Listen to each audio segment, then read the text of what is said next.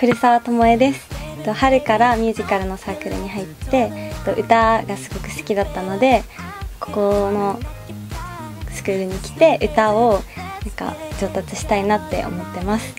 と今まではなんか子供の歌歌とかなんか明るいポップな感じの曲が多かを歌ってたんですけどなんかもうちょっと大人っぽいなんかいろんな表現ができるなんか歌い歌える人になりたいなと思って今回応募させていただきました。よろしくお願いします。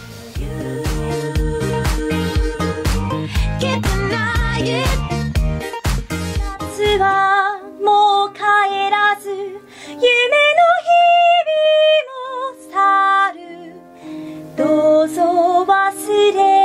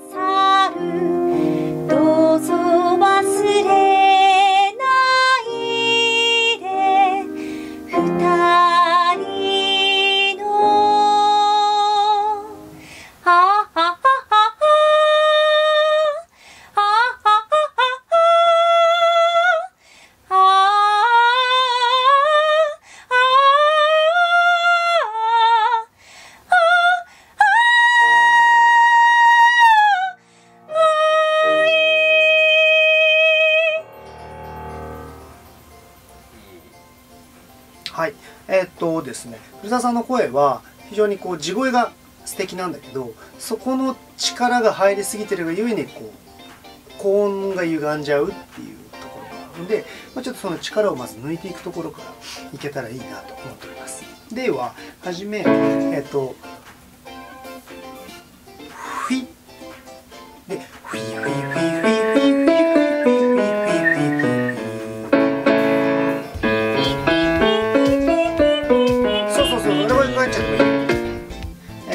したらですねちょっと明るいなんでしょうね顎の力が強くて顎がグーンてこっちに行っちゃう癖があるので、えっと、そうしないためにこの状態で明るいガッガガガそうあのゲッツみたいなゲッそうゲッツじゃなくてゲッ。ゲ。そうそうこの顎が一切つかずにゲッゲッゲッ。ゲッゲッゲッ。そうその状態でゲッゲッ。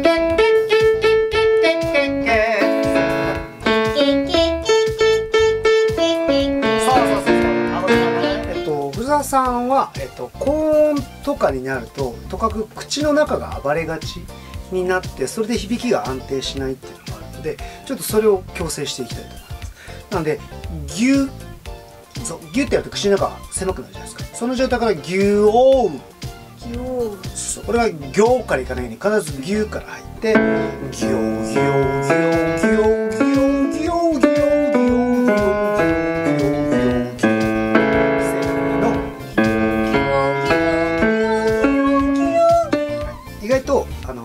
タイプなので息が強すぎるのでそれをちょっと抑えるためにあのここを膨らましてうーん。そうそうそうそうその状態で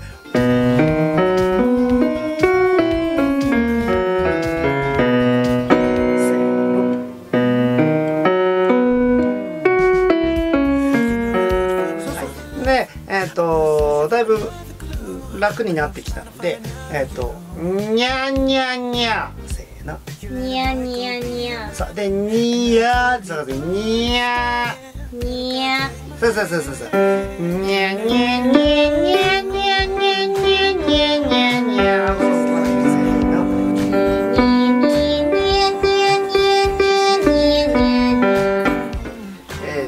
だいぶね声が良くなってきたのでちょっと試しいんですけど、えー、とこれは自分の声紋を取る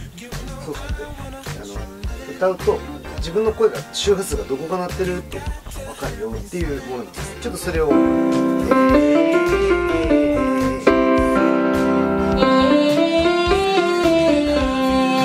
じゃあャピャピャピャピャビャビャビャビャビャ。ビャビャビャじゃあこれだけで。でえっ、ー、とこの下の周波数低い「あー」とかっていう声はこっちの方でなってて高い周波数になるとこんな感じで山になるんですでえっ、とこれとは別これ倍音っていうのがこう上になってるんですね。でこっちより上のここら辺のゾーンとかが結構鳴っていると強い声しっかりした声マイクになってあバンドに負けない声。で4回のレッスンありがとうございました。えっとなんか声のなんか出し方かなんか今まで自分がなんかどういう風に使っててなんかどういう風になってたかみたいなのが分かれたのですごい勉強になりました。頑張ります。ありがとうございました。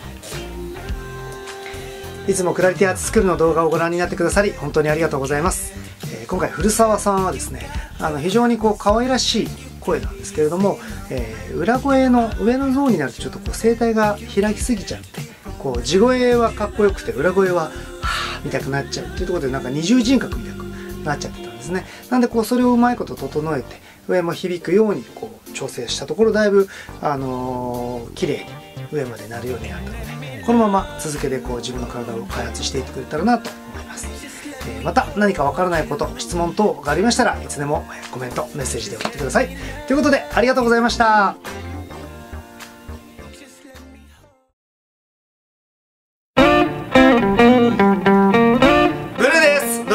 いただきありがとうございます、えーこれからもいろんな動画をアップしていくのでもしよかったらぜひチャンネル登録を